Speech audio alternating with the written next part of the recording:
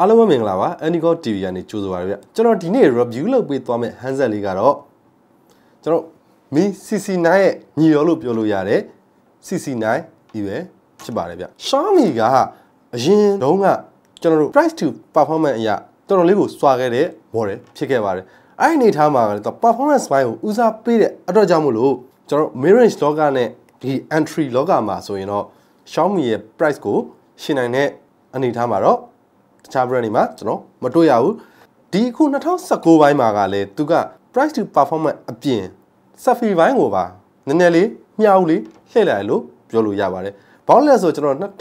2019ခုနလပိုင်းထဲမှာကျွန်တော်ထုတ်ခဲ့တဲ့ Mi CC9 ရဲ့ CC9E ရဲ့ဆိုတဲ့ model နောက်တစ်ခုရှိသေးတာဗာလဲဆိုတော့ Xiaomi ရဲ့ CC9 Meidu Edition လေးပါအဲ့သုံးလုံးထပ်ထုတ်လိုက်တဲ့အနေအထားမှာကသူက selfie ဘိုင်းမက်ကိုပါဦးစားပေးလာတယ်ဆိုတော့ selfie camera တွေမှာ လူငယ်တွေအတွက်တော်တော်သဘောကျစရာရွေးချယ်စရာဖြစ်လာပါတယ်အဲ့အတွက်ကြောင့်မလို့ကျွန်တော်တို့ Xiaomi မှာ Xiaomi ပဲဖြစ်ပြီးတော့ selfie ကိုလှလှလေးထွက်ချင်တဲ့သူတွေအတွက်ကတော့ကျွန်တော်တို့ Mi CC9E နဲ့ CC9 တွေကဝယ်တဲ့ထဲမှာပါပါတယ်ဗျဆိုတော့ CC9E ရဲ့ကောင်းဝတ်ဆိုးဝတ်လေးတွေကိုကျွန်တော်တို့အတူတူကြည့်ရအောင်လားဗျ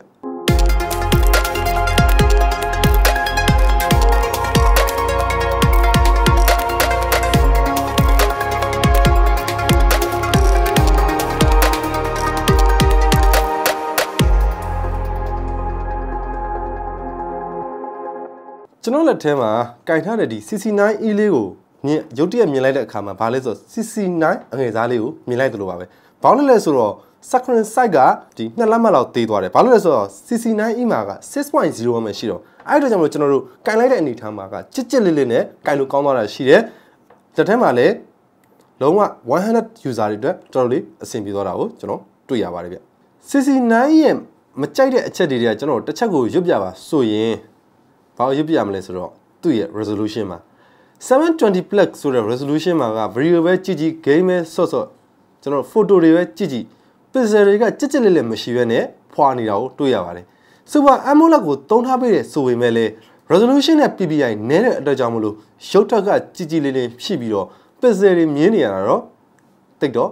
အားရစရာမရှိပါဘူးဗျဒါပေမဲ့လည်းသူ့ရဲ့အနေအထားနဲ့720 plus ကိုသုံးထားပေးတာကလက်ခံလေ ရတဲ့အနေအထားပါတကယ်လို့720 plus မဟုတ်ဘဲနဲ့ကျွန်တော်1080သုံးလိုက်မယ်ဆိုရင်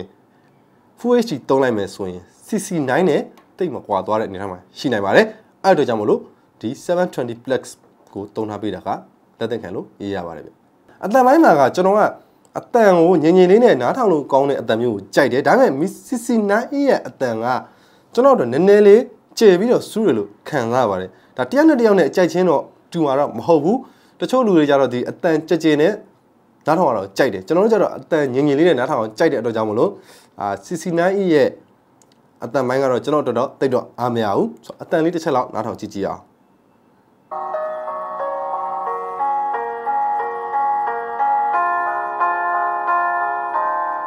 You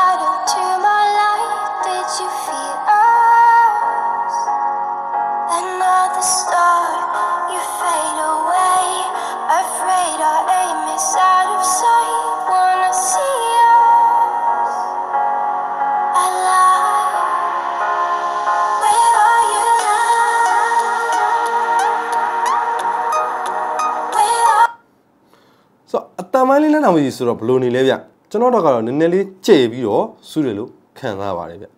ကင်မရာပိုင်းကိုပြောမယ်ဆိုရင်လည်းသူ့မှာတုံးထားတာတွေက CC9 နဲ့အတူတူပါပဲ48 megapixel တလုံးရဲ့8 megapixel တလုံးရဲ့2 megapixel တလုံးရဲ့တုံးထားပါတယ်ဆိုတော့အဲ့ဒီအနေထားမှာကျွန်တော်ဓာတ်ပုံတွေရိုက်ကြည့်တဲ့အနေထားမှာကလိုလိုက်မှာတော့တိတ်တော့အားမရဘူးဗျဒါပေမဲ့လည်းကျွန်တော် natural light တွေရိုက်တဲ့အခါမှာတော့ color လေးတွေမှန်တယ်အယောင်ထွက်လေးတွေကောင်းတယ်ဒါပေမဲ့ပြဿနာရှားနေတဲ့ကောင်ဘာလဲဆိုတော့720 plus ပါ အဲ့တော့ကြောင့်မလို့ကျွန်တော်တို့ဓာတ်ပုံရိုက်တာဘလောက်ပဲကောင်းကောင်းကျွန်တော်ကင်မရာနဲ့ဘလောက်ပဲရိုက်ရိုက်ပုံကောင်းဘလောက်ပဲထွက်ထွက်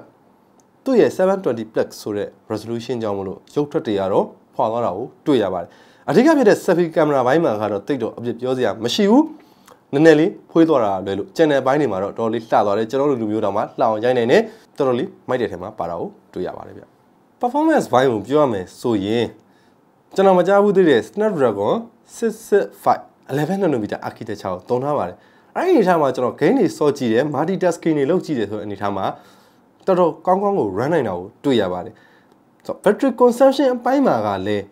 တော်တော်လေးခံတာကိုတွေ့ရပါတယ် PUBG တပွဲဆိုရင်8%လောက်ကြာတယ်တနားရီခွဲလောက်ကြာတဲ့ video တစ်ခုကိုကြည့်မယ်ဆိုရင်လည်းသူက8%လောက်ပဲကြာတယ်ဆိုတော့ battery consumption အပိုင်းကလည်းကောင်းပါတယ်ဆိုတော့ PUBG ကိုတနေ့ကိုကျွန်တော်ပြည့်ကြည့်ပါတယ်9နာရီလောက်ပြည့်ကြည့်တဲ့အနေထားမှာက battery က20 or 30%လောက်ထိကျန်တာကို တွေ့ရပါတယ်ဆိုတော့ဒီဘိုင်းကလည်းတော်တော်လေးကောင်းတယ်ဆိုတဲ့အထက်မှာပါတယ်ဥပမာ PUBG ကိုတောက်လျှောက်ပြစ်ချင်တယ်ဆိုရင်တော့အကောင်းဆုံး setting ကတော့သူ့ကို smooth နဲ့ထားပြီးတော့ frame rate ကို high နဲ့ထားပြပါအဲ့ဆိုရင်တော့လုံးဝလက်ခါတွေပြူတာတွေမရှိဘဲနဲ့ကောင်းကောင်းကြီး run နိုင်တာကိုတွေ့ရပါတယ်ဆက်ပူချိန်ကလည်းတအားကြီးပူသွားတာမျိုးမဟုတ်ဘဲနဲ့နည်းနည်းလေးပူတယ်ဆိုရင်တော့လေးပဲပူသွားတယ်ဆိုတဲ့အနေထားမှာကဒါကမဆိုးလို့ပြောလို့ရတယ်နောက် battery ကို0 to 100%ပြည့်ဖို့အတွက်က 18 watt fast charging နဲ့ဆိုရင်တော့မှကျွန်တော်တို့2နာရီနီးလောက်အသုံးရပါတယ်ဗျ daily life သုံးမယ်ဆိုရင်တော့ battery က ACC 2ရက်လောက်ခံတာကိုတွေ့ရပါတယ်ဗျ CC9 မှာပါတဲ့ in display fingerprint ID နဲ့ face unlock နဲ့ကလည်းတော်တော်လေးအလုပ်လုပ်တာကိုတွေ့ရပါတယ် face unlock ဆိုရင်လည်းကျွန်တော် natural light တွေမှာရော low light တွေမှာရောကောင်းကောင်းအလုပ်လုပ်တယ်မြင်လဲမြင်တယ်တွေ့ရတယ်သူ့ရဲ့ in display ကလည်းညက်တိုင်းမြင်တဲ့တော့မပါဘူးဗျနည်းနည်းလေး millisecond လောက်လေးနောက်ကျနေတာကိုတွေ့ရပါတယ်ဗျ overall အနေနဲ့ပြန်သုံးသက်ကြည့်ရမယ်ဆိုရင်တော့ သူ့ရဲ့720 plus ဆိုတဲ့ resolution ကိုထပ်မတွက်ဖ ೇನೆ ဆက်ဗီလာလာရိုက်ရှင်တဲ့သူတွေဂိမ်းကောင်းကောင်းလေးစော့ကျင်တဲ့သူတွေနောက်တစ်ချက်ကျွန်တော်တို့ daily life မှာ battery ကိုအချိန်ကြာကြာသုံးကျင်တဲ့သူတွေအတွက်ကတော့ Mi CC9E လေးကတော့ရွေးချယ်တဲ့ဖုန်းတစ်လုံးဖြစ်ပါတယ်လို့ကျွန်တော်အကြံပေးချင်ပါတယ်ခင်ဗျအားလုံးကျေးဇူးအများကြီးတင်ပါတယ်ဗျ